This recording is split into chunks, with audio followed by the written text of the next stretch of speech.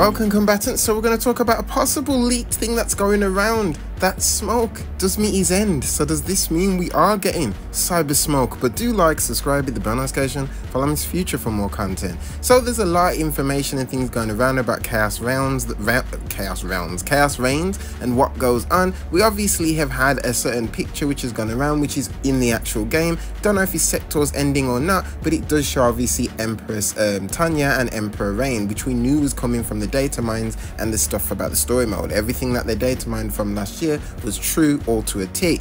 Now, there's one interesting leak thing that seems to be going around is that Smoke actually meets his end. Yes, Tomas actually meets his end in this story DLC. No idea if he if this is on about a different smoke that's from like a different realm like Titan Havik's realm or one that's from anywhere else or if it genuinely is the smoke that we know and love. Now if it is smoke that does meet his end and die in this then is it possible that he will be cyberized? Could it be possible that smoke actually instead of being killed and then just buried he's actually taken by Sektor and obviously maybe Bi-Han if he gets separated from um from um, Thingy from Noob Saibot and he gets brought onto the side of the Lin Kuei. And even though Bi-Han does not like um, Tomas, he does not like Smoke at all. He doesn't like him in any single bit. So, well, he, he's, he's fine with him, but he just doesn't class him as proper family. But he's okay with um, Smoke.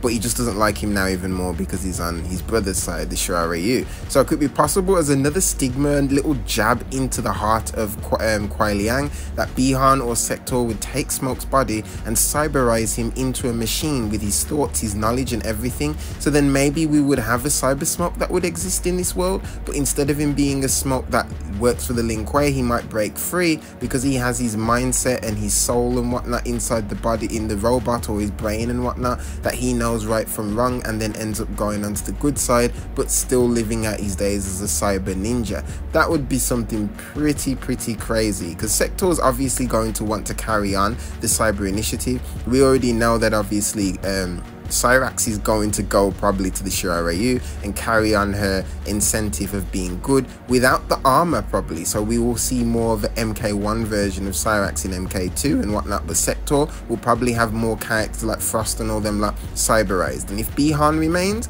then possibly Bi-Han will be the one that uh, issues that SWAT Smoke has to become a cyber initiative and have one of them on their own side but obviously to attack Kuai Liang. So this is something really interesting because I didn't expect them to do something like this. I thought maybe this time around Smoke's being skipped because we've already seen the Cyber Smoke version um, come in the um, story mode ending. So if this does happen, maybe we're going to have one where they don't take his body, but they do take his DNA sample or something, or his brain or something, and infuse it with a ninja to create the perfect cyber smoke or a cyber smoke that they can utilize. But this is still something really interesting. No idea if this is true, but it's coming around lately. We're hearing some more stuff as it comes closer to September. We're hearing information about the game. We're hearing different things a lot of things that were data mined have come true. Sektor and Bi-Han and things that they've said about in the data mines that were going to happen are definitely happening.